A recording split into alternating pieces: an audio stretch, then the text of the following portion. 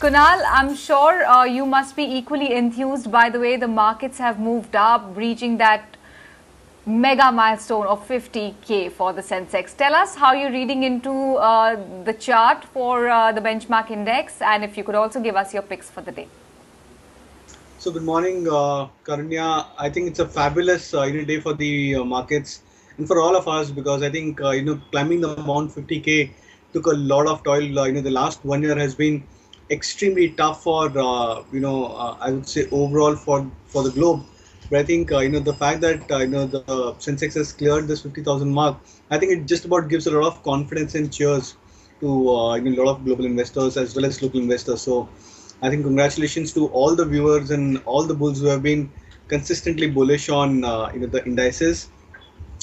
Talking about the near-term charts, I think it's again a, you know one of the routine days for the index which you've seen today 100 points plus on the Nifty, 200 plus points on the Bank Nifty, and a very strong recovery uh, overall. You know, from that Monday sell-off, or I would say marginal correction, uh, you know, which we had seen. You know, it's again a reinstating of the fact that uh, you know the indices are into a strong uptrend, and you know corrections have just lasted for max a couple of days, not more. So I think that's how you can probably summarize the strong bullish uptrend which you've seen. Uh, in terms of specific names, I think there are now you a couple of stocks which are inching towards breakout. So it's a mix of uh, you know large cap and mid cap names. The two stocks which I'm suggesting as a buy, first one is EID Parry. Uh, again, a very interesting chart. In fact, in the morning show as well, I'd given a buy call on EID Parry. The stock is already up some four and a half, five, five percent odd. But I think it's now completing a very strong bullish, uh, you know, triangular pattern breakout, and it's an exceedingly strong chart because when you look at it on the slightly longer term time scale as well, there are uh, you know multiple bullish patterns which are getting broken out. So both on the short term time scale as well as the long term time scale, I would believe uh, EID Parry should do exceptionally well for itself. Uh, so I'm expecting uh, you know, the stock to move up significantly higher from current levels. A positional call, uh, targets of 400 and stoppers to be kept at 340. The second is about Tata Chemicals. It's very, very interesting because it's again one of the few Tata group of stocks which has done remarkably well uh, other than Tata Motors and Tata Consumers, etc. But when you look at the charts for Tata uh, Chemicals as well, it's completing now a bullish flag pattern on the daily charts. You know, the, the momentum into the stock is uh, exceedingly high.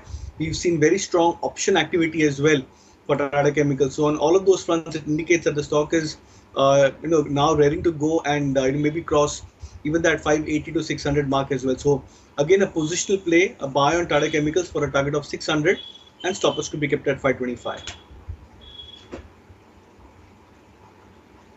Two very uh, high pedigree management stocks from Kunal, EID Parry, of course, and then uh, Tata Chemical. Ashish, good morning. On this historic day, uh, what calls do you have for our viewers? Yeah, couple of A calls uh, which I am having. Uh, both companies are starting from A. Uh, my first stock is Apollo Tyres. Uh, I'm very bullish on uh, tires stock per se because uh, whatever the import was happening by global players, it's not happening now because of anti-dumping and other issues. So domestic tire companies are going to uh, really do well. So Apollo Tires, being a leader in uh, replacement market, uh, will continue to thrive in many more quarters to come.